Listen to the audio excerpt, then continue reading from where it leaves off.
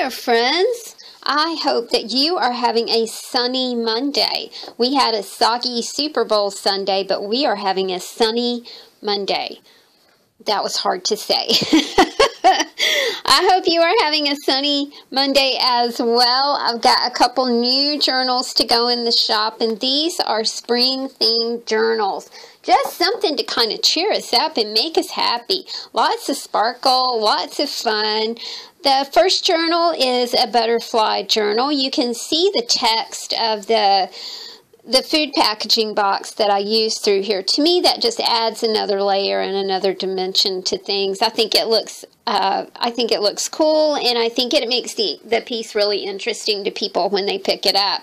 Um, you know, they'll say, "Well, that's an unusual book," and you can say that's a book made from food packaging, and it's nice to be able to alter and transform you know, just kind of those everyday things and keep them out of the landfill. Our bead strand is just sparkle, sparkle, sparkle. It is just all kinds of fun. I I'm so fortunate that my friend sent me some beads. I was really kind of running out. I had gone to the craft shop to pick some up and but boy, I seem to use a lot of beads. So I'm so appreciating her sweet gift of beads to me. I wanted to take you through this. So let's just kind of go through here.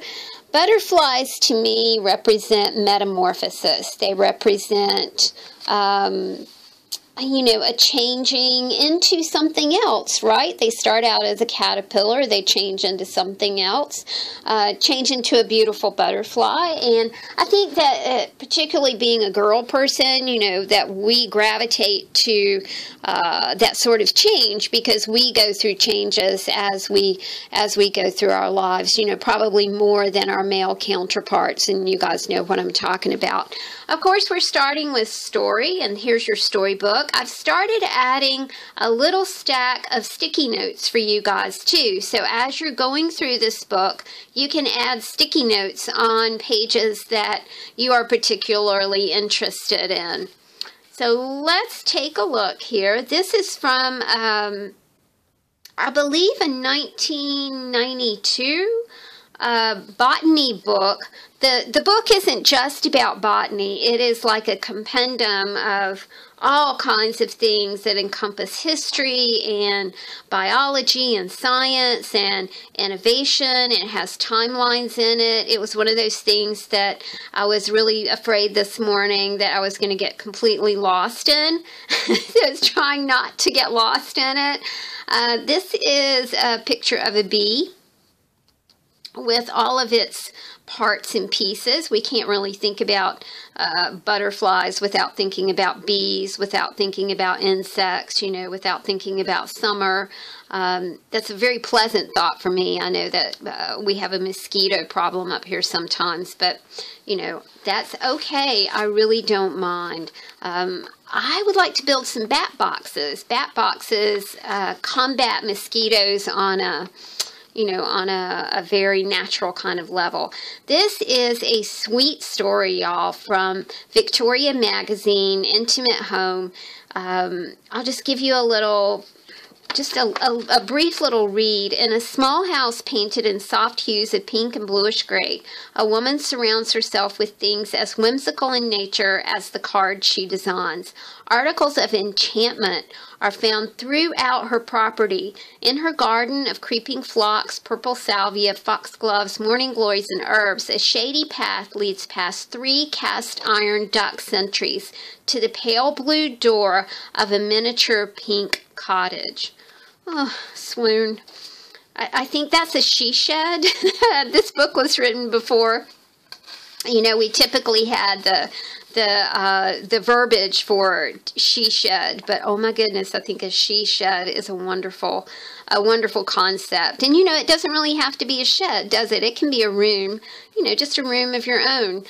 Uh, lovely papers. Some of them are these handmade Indian papers, which I'm just crazy about lots of things for you to uh, think about and draw upon.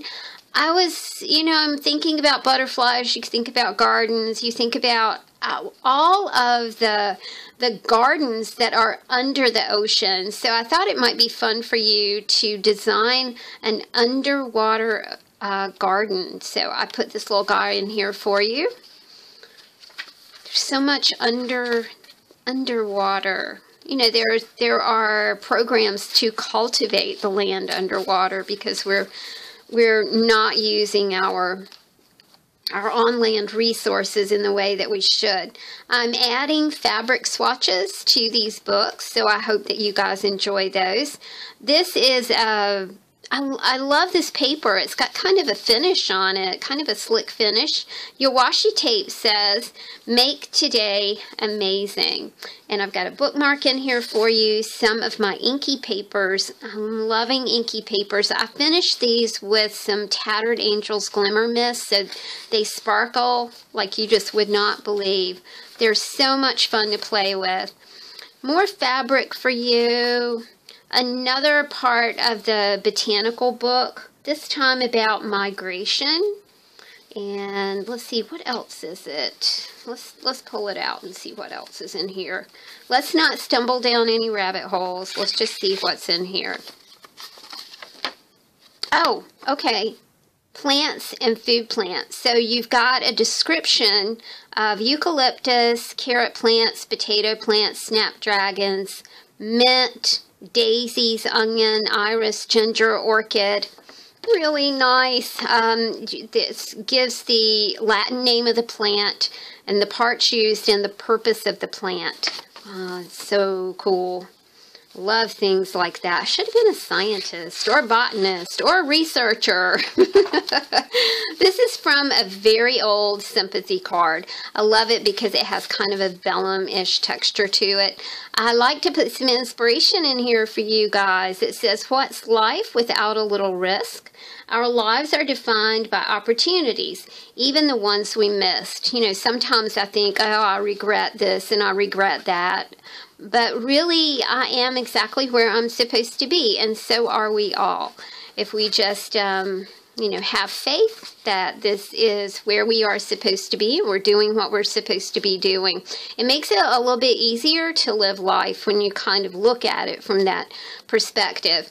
I have some dotty, shiny dotty paper for you. The paper under here says sunny state of mind and a bookmark for you to play with.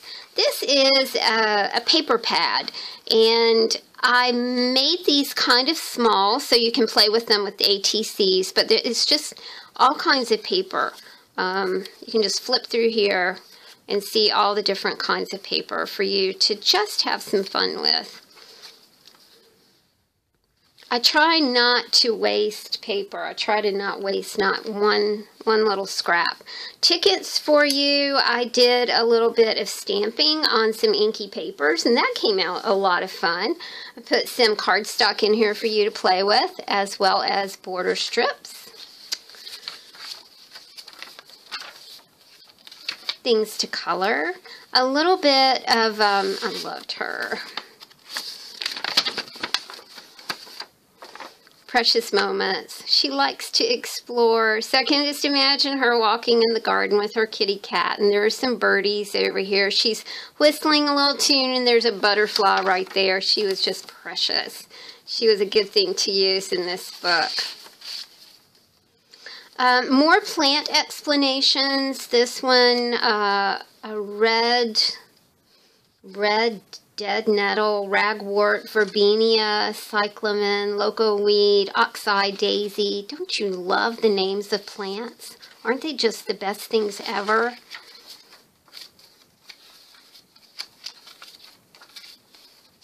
Lots of papers. This is a bookmark for you. It's already stamped with a butterfly, and you can color that butterfly or paint it or whatever you want to do. I'm kind of crazy about circles. Y'all know that. And I offset those circles with some squares up here. This is the Indian paper that I am just crazy about a strand of flowers for you. You can easily cut these apart and use them on ATCs or what other ever other kind of art project you might have going on. This is a chipboard piece. You can paint this, color it, spray it, do whatever you want to with it and make it uniquely and originally yours. And then maybe you can name that plant. You know, think of a cool um, name for you to uh, to name that plant that you just colored and invented. More fabric swatches. This is some of the Reminisce magazine, 1992. This is about the dirty 30s, filled with joys and woes. It's just really, I, I, I am amazed that people actually live through this. Uh, lack of rain, left behind barren farmyards and fields throughout the nation's midsection. Top photo, making it virtually impossible to raise crops. The Colorado farmer at left had piles of dust that were tall as nine feet on his land. Oh, jeez, it's just heartbreaking. Um, but what a testament to, you know, to to faith and making things do and getting by. It's just really amazing to me. Sorry, I'm trying to stick this back where it was. Can we have a little bit about the Dust Bowl and the Great Depression? This is the 1942 Red Cross Nursing Manual. A little bit about foods, uh, things you should eat, things you shouldn't eat. Foods uh, that are rich in vitamins, vegetables high in fiber. It's a very interesting, you know, a lot of that book was about how you should eat, not what medicines you should take. And I think that that is a really good lesson to uh, to learn, you know, in this day and age where we think that any kind of illness is going to need actual medication. I do realize a lot of illnesses do need medication, but you know, if we would maybe eat better, then maybe we wouldn't have so many conditions that uh, you know require medication. But that's just my thought. You know, there are different schools of thought about all kinds of things. 1941 ledger paper a little bit of Hardy Boys for you. This is so sweet. It's a prayer for guidance, and I thought it fit well with the theme of the Dust Bowl and the Great Depression because I I believe you would just have to have a lot of faith to get through something like this. I thought that this page from 1972 was quite interesting, uh, juxtaposed with the um, the the photo of the Dust Bowl farmhouse. Now this is a this is a modern house from 1972. So the Dust Bowl. I'm not sure. 1930s was the Dust Bowl. So we can see that in 40 some odd years that there was a different landscape um, in in America. I thought that was very interesting. This is a cat hand butterfly, y'all. Cat Hand Butterfly. If you do not know Cat Hand, you need to know Cat Hand. She is fantastic. She has the best ideas and they are so much fun. So please check out Cat Hand. And you can you can Google cat hand butterfly and you will and you will just be astounded at the things that she does. She is hey cat hand. yeah, she is just a, a wonderful, wonderful person, great crafter got a sparkly butterfly, sparkly paper, and a small um, unsized ATC that says believe. This is from uh, the Take 5 art project. Um, I did not like it when I did it, but gosh, these things are really growing on me, especially the stars. I kind of like the stars. Um, I think it's important that when you are making a piece of art and you are not happy with it, that you carry on with it. Um, I can't I can't explain that. Um, carry on, carry on, carry on. this is a fab. This is a paper swatch. It kind of comes apart like this, uh, with a little uh, brad at the top that has an X for some hugs for you and a pocket right here with more of the shiny dotty paper. This is a, um, a card for you to alter. It's already got an envelope and it's already got a stack of, um, of hearts for you to play with right there. I've got another stack of stuff right in here in this envelope for you to play with as well. And here's a little reminder that there's some play toys in here for you. It's like a toy box. It's a toy box in your journal. This is from the 1972 Better Homes and Gardens uh, book. This time it's periwinkle, and I have this growing outside my sunroom. Butterflies love it. Butterflies are very drawn to the color purple. They really do love it. I used to have like a butterfly bush, but I um, I did not kill that, y'all. It, it just died, and I don't know why. I'll just leave it at that. Got some Harry S. Nilsson memorabilia for you.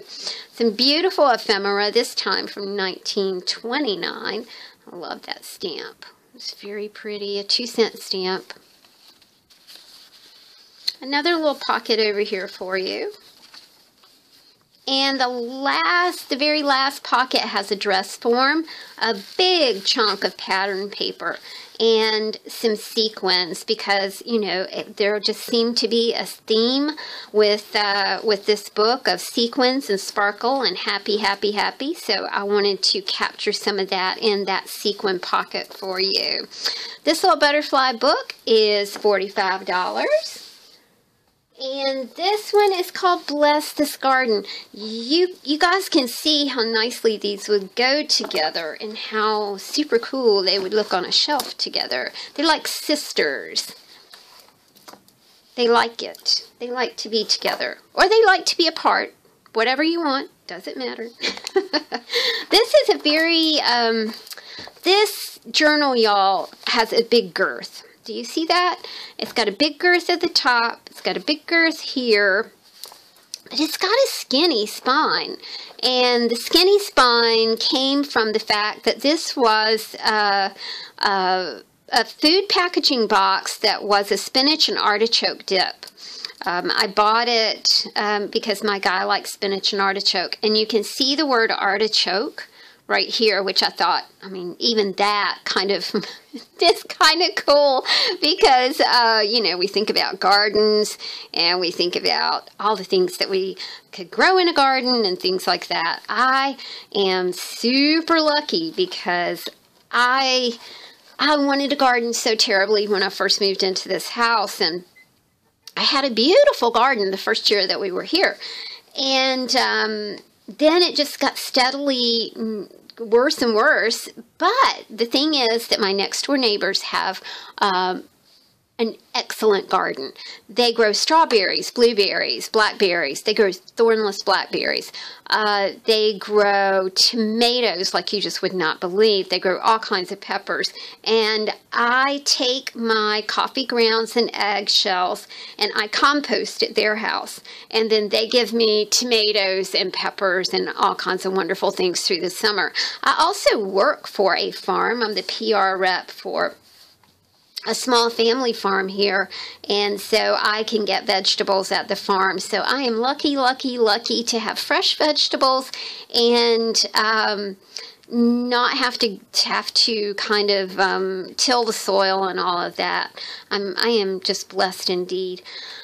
Started you out with a butterfly here and some sparkly flowery paper for your Bless This Garden book.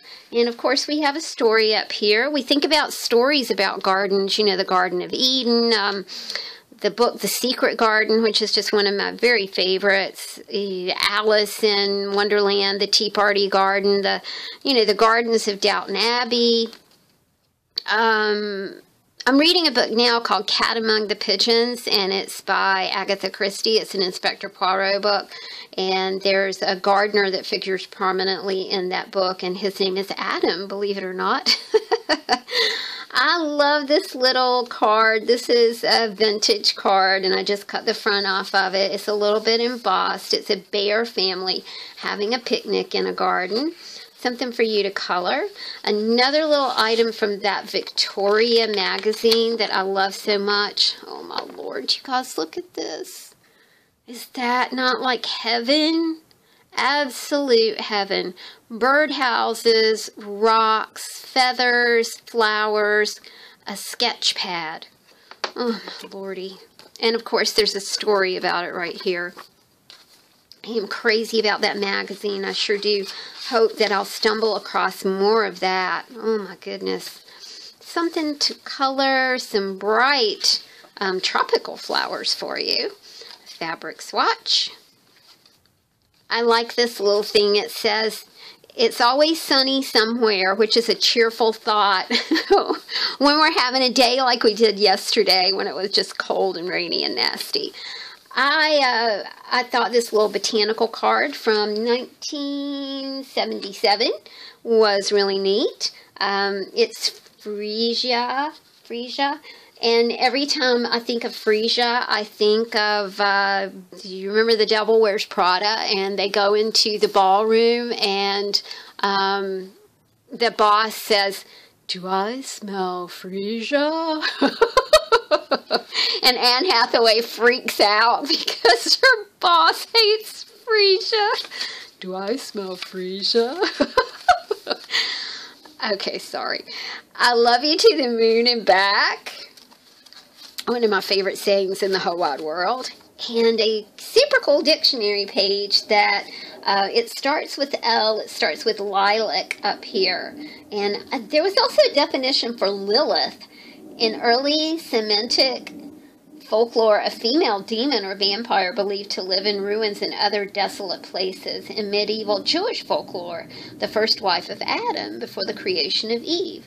In medieval folklore, a witch believed to be a menace to little children. When I think of Lilith, I think of Cheers. I think of Frasier's wife, you know, on on uh, on Cheers, Lilith.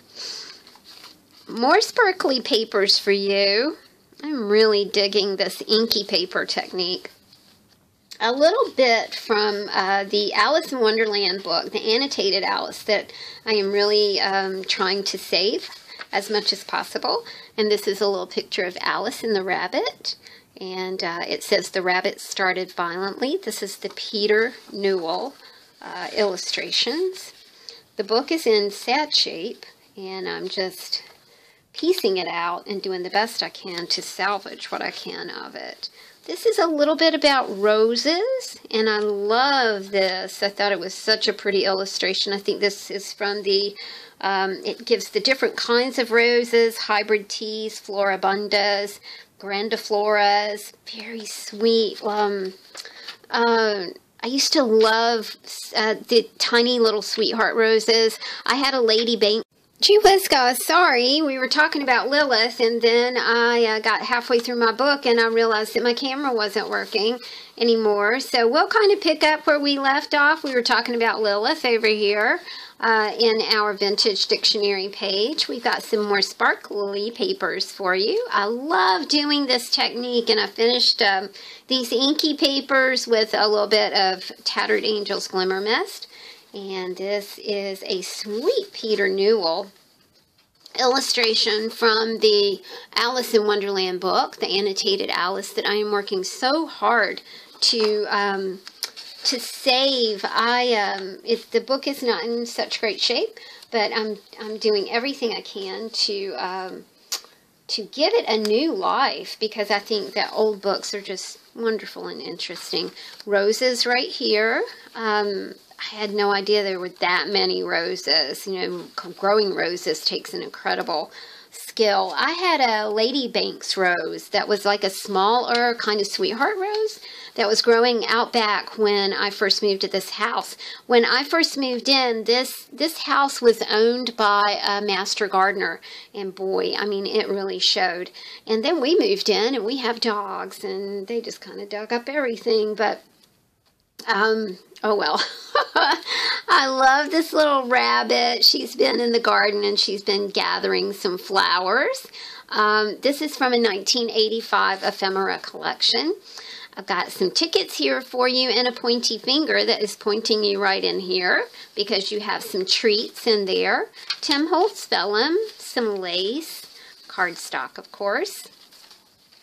This is a cat hand butterfly and I put on the back Cat Hand Butterfly.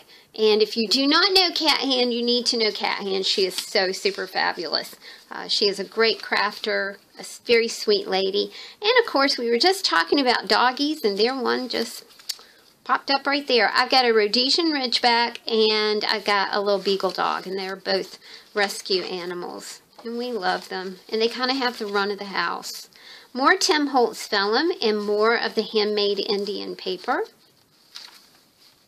more about roses. Uh, a sweet little butterfly card.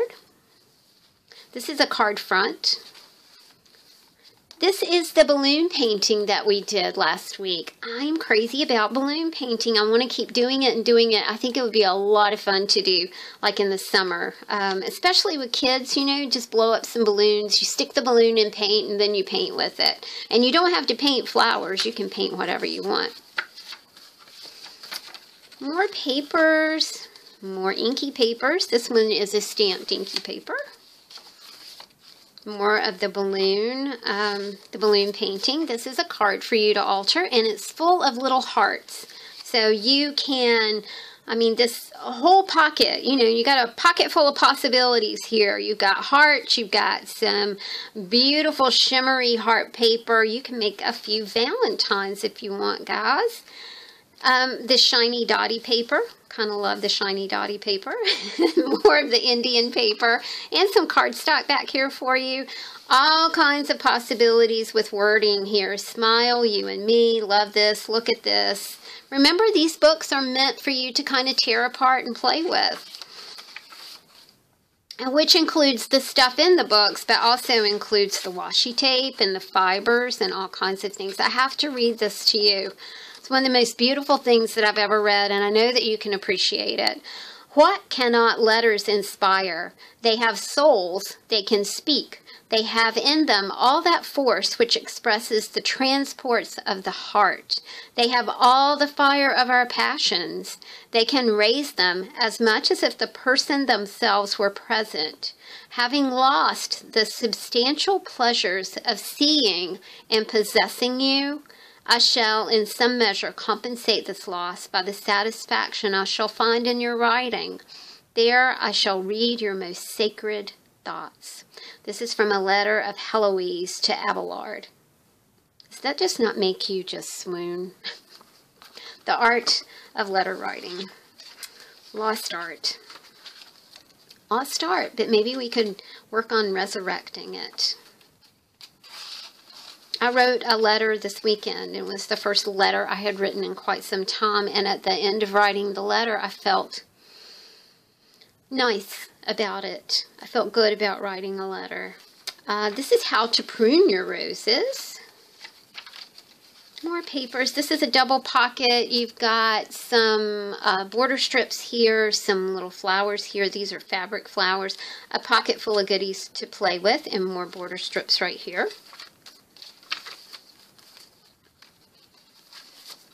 This is a smattering of dendronics. Dendronics is the study of trees, and it is a wonderful paper pack that is just full of beautiful imagery that is tree related. You know, tree bark, the the texture and the fibers of trees. It's just really so beautiful. We've got since we're talking about trees, we've got some leaves up here. This is so neat, y'all. I hope you can see this. Do you see this envelope? It almost looks marbled. I know that it's not marbled, but I have no idea what kind of paper this is. And it's not evident on the inside, but it is evident on the outside. It's so beautiful. This is a piece of the um, ephemera, this time from 1930. I don't know how they did that. It's absolutely beautiful.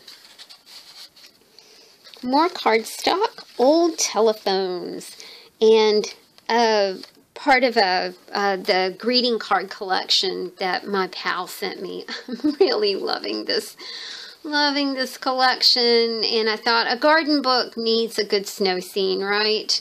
Isn't that just precious the way that everybody's outside in the snow talking? So beautiful. This is how to select food for health. I think, you know, if you're talking about gardening, then sometimes you do vegetable gardening. And I love this page from the 1942 Red Cross Nursing Manual.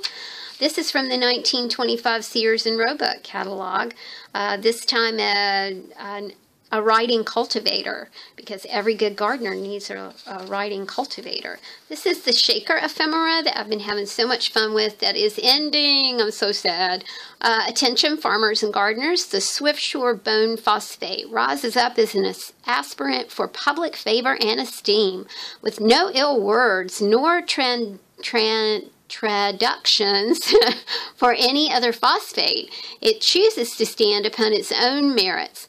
This is must do or not stand at all. Farmers and gardeners are the most discriminating individuals capable of soon learning the source of the most liberal returns for their outlay. My goodness. That is some more advertisement for bone phosphate, y'all. Our Great American Recipe book is about President's Day, which is coming up quite soon.